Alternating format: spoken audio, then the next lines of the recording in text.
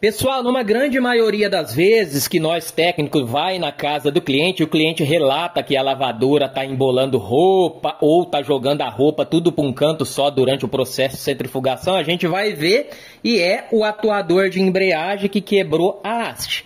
Isso daqui acontece demais mesmo. E uma grande maioria dos técnicos o que é que faz? Vai lá, tira o atuador quebrado, apenas coloca o outro atuador novo, pronto, de momento ali resolveu o problema.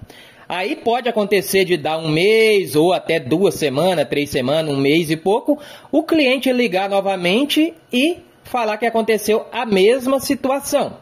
O técnico vai ver que quebrou novamente a haste do atuador.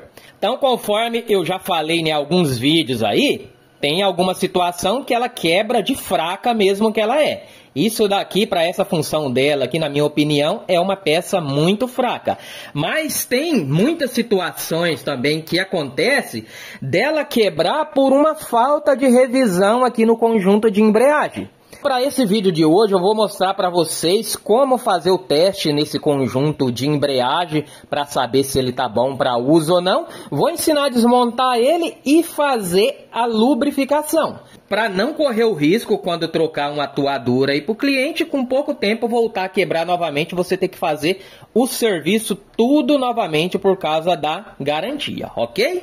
Então, se você quer ver como que faz o procedimento aqui de teste para saber se o conjunto de embreagem está bom para uso ou não e como que faz a lubrificação dele aqui de forma correta, me acompanha aí até o final do vídeo. Eu sou o Zé Maria aqui do canal JM Soluções. Um abraço para todos. Se ainda não é inscrito aí no nosso canal, não perca tempo, clica no botãozinho logo abaixo, se inscreva, porque aqui toda semana a gente posta vídeos novos, traz novidades e com certeza um vídeo ou outro sempre vai lhe ajudar aí no dia a dia. Ativa também o seu sino de notificações e marca a opção todos para toda vez que a gente subir um vídeo aqui no canal, o YouTube sempre te mandar a notificação para você não perder nada. E para não se esquecer, já vai logo abaixo, deixa aquele joinha, isso com certeza ajuda a fortalecer o canal e como forma de retribuição, eu tenho um compromisso de toda semana compartilhar o meu serviço e sempre trazer novidades aqui para vocês.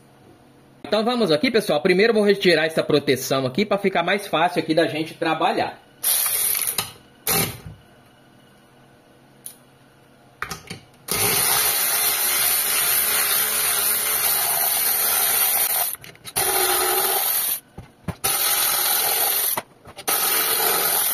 Beleza, ó. Aqui já fica mais fácil. Então aqui retirei a proteção, a gente já está com acesso aqui ao conjunto de embreagem dela, também conhecido como conjunto do Kami. Para fazer o teste, para saber se ele está ok, não precisa nem retirar essa proteção, apenas pelo furo dela aqui você consegue fazer o teste. O teste que você faz aqui para saber se ele está ok, ó. Conjunto de embreagem dela aqui, a função dele é Conforme vai girando aqui, essa haste ela vai para lá e para cá. Fica trazendo para lá e para cá. Ela parou nessa posição aqui, acoplou, centrifugação. Desacoplou, atuador jogou para esse lado aqui, agitação, aonde ela gira apenas o agitador da lavadora. Então essa é a função desse conjunto de embreagem. É um teste que a gente, que é técnico, toda vez que pega uma situação dessa de ter quebrado a arte, vem aqui pelo furinho ali mesmo, não precisa nem tirar a proteção, e verifica se ele não está travando. Ó, ele tem que ir para cima, para baixo, ó, ó, levinho. Ó. ó. esse daqui já está um pouquinho duro, ó, ó na descida. Ó. ó, então é uma situação que ele precisa de lubrificação. Olha só para vocês, ó. Ele não tá ruim. Ele não tá ruim, tá para ver que tá com a mola aqui tudo certinho, Não tá, tem nada roçado aqui, ó, mas ó, você coloca aqui, ó, dá pra ver, ó, ó eu tô precisando fazer uma força aqui para ele voltar. E é essa força que o atuador, por ele ser tão frágil, é essa força, por exemplo, para trazer para cá aqui, que acaba forçando essa parte aqui e acaba quebrando. Então você verificou, se tiver agarrando, ó, o correto é estar tá levinho, ó. Trouxe para cá, vim levinho, para lá levinho, ó. Na descida levinho e na subida levinho. Mas aqui dá para ver, ó, que conforme aqui na descida dele, ele tá agarrando, não tá levinho, ó. ó. Tá agarrando bem. Então, um desse daqui é um que precisa de lubrificação. Deixa eu retirar a mola dele aqui, ó. Ó, retirou a mola. Ó, essa peça aqui, ela é só encaixada. Depois vou ensinar como montar aqui tudo novamente, tá? Não tem segredo. Ó, agora vou retirar esses quatro parafusos aqui, ó.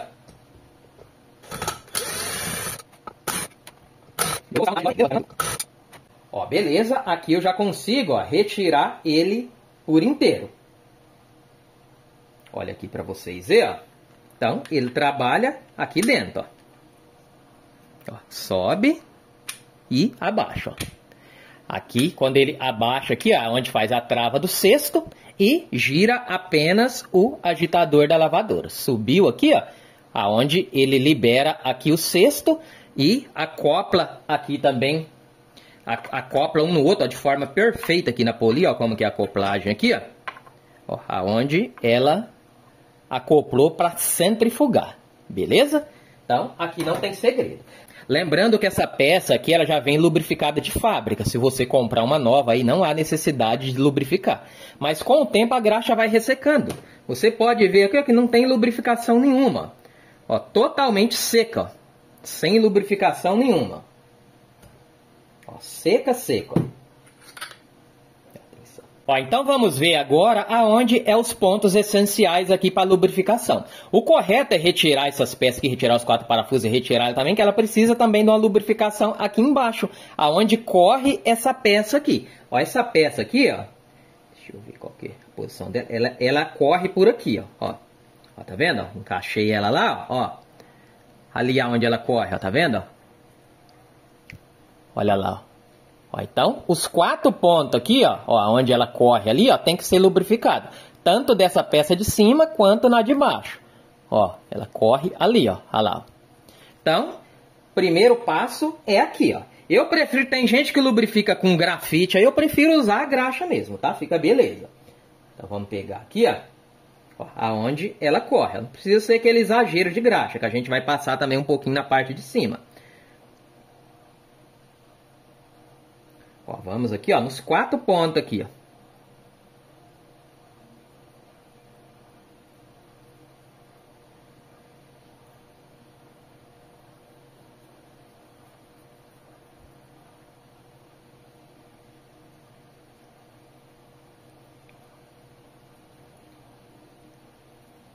Beleza, aqui, ok, fiz isso daqui, eu já posso colocar essa peça aqui no lugar. Para colocar ela aqui não tem segredo aqui, se você encaixar de forma errada ela não vai encaixar, ela tem a posição. Tá vendo que tem um encaixe maior aqui e os outros tudo pequenininho. Então esse encaixe maior é onde tem um rasgo maior aqui. Tá vendo que ela também tem um rasgo aqui maior e os outros rasgos aqui, ó, os três rasgos aqui, tudo pequeno, ó. Então aonde é o rasgo maior, só alinhar ali, ó. E colocar para cá. Colocou lá, ó tirando como ponto de referência onde é aquele encaixe maior, beleza, já está no lugar que eu já posso parafusar.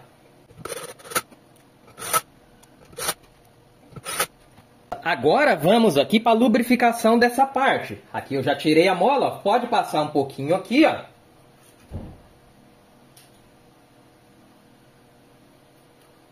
Que é onde corre, aqui dentro está muito importante.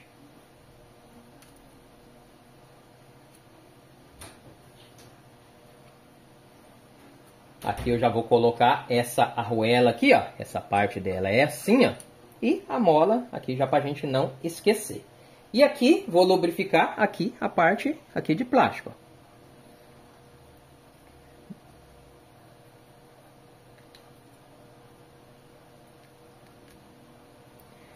Beleza, aqui não passa aqui nessa parte, tá? Porque aqui é onde acopla. Aqui não pode deslizar. Aqui acoplou, tem que ficar firme mesmo. Então não pode passar nem graxa aqui e nem aqui. Agora posso vir aqui e passar aqui nessa parte, ó. Que é onde ela encaixa ali. Se quiser passar um pouquinho aqui também, ó, que eu não passei, tá vendo? Esses dentinhos aqui, ó. O correto é passar nas duas partes mesmo, ó. Vem aqui nesses dentinhos aqui, ó, que é onde ela corre, ó. ó com o pincelzinho você consegue fazer de boa, sem exagero, ó. Aqui na parte de cima aqui também, tá?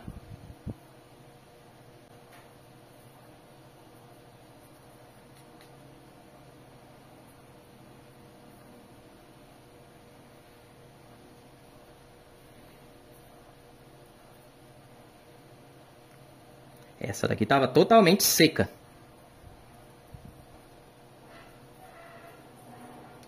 Ó, beleza, ó, bem lubrificada. Já posso vir aqui, ó, e só encaixar ela aqui na posição dela. Ó, para vocês verem, ó, ó. Aqui se tiver algum excesso aqui, você pode tirar só aqui da ponta, tá? Ó. Quando você coloca, se ela jogar algum excesso aqui para cima, ó, pode vir aqui ó, só na pontinha aqui e tirar. O importante é a graxa ficar só ali dentro, ó. Agora, essa parte aqui, você vai lubrificar os quatro pontos aonde também raspa ali, aonde acopla com aquela outra parte ali para raspar aqui, conforme eu mostrei para vocês. Ela encaixa aqui por baixo ó, e raspa. Ó. Então, esse ponto, ó, os pontos aqui maiores. Ó. Ó, esse daqui. Ó, principalmente essa pontinha aqui, ó que é quando ela vai ali, essa pontinha que se encaixa primeiro. Então ela tem que estar tá bem lubrificada. E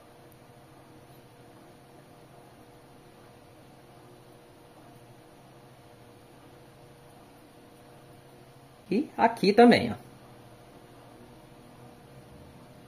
Todo lugar aonde tem contato plástico com plástico, ó, para não correr risco de enroscar em nenhum lugar, ó, sempre lubrifica, ó.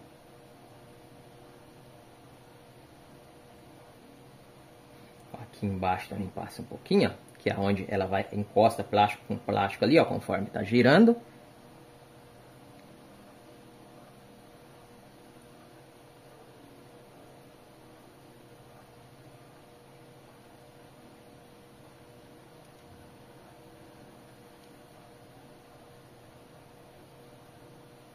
Beleza, agora vamos aqui voltar no lugar para voltar aqui no lugar, sempre atenção na posição, tá vendo? Aonde vai uma, um, um, lado da mola vem aqui e o outro vem aqui, ó. Então, essa parte aqui tem que ficar para cá, tem que se encaixar por aqui, ó. Pra gente colocar a mola, tá vendo? Ó, que vai se encaixar ali certinho, ó. ó então não tem segredo, ó. Encaixou lá, ó. ó você pode virar, ó. ó que beleza, ó. E já posso aqui colocar a mola. Então, retirando de novo, para não ficar nenhuma dúvida, ó pega o pino que está com a mola e já encaixa logo aqui depois, ó. ó colocou lá, ó. Olha lá. Tá vendo? Ó, todo lugar que tem contato, ó, aonde vai raspar, ó, tá lubrificado. Ó, aqui a parte de cima não precisa que não vai ter contato. Aqui eu já posso vir aqui e colocar a mola. Uma perninha da mola vem aqui, ó, e a outra logo aqui embaixo. Prontinho, ó. Agora ficou levinho de tudo, ó. ó só com o peso da mola já consegue abaixar ele, olha lá pra vocês verem, ó. Lógico que não é só a mola que baixa, que ele conforme roda, ele mesmo força para lá e para cá, ó. Mas tá vendo, ó? Não tô precisando mais fazer força nenhuma, não tá enroscando em lugar nenhum. Se eu trazer aqui, ó, a própria mola, ó, dá conta de abaixar ele, ó. ó.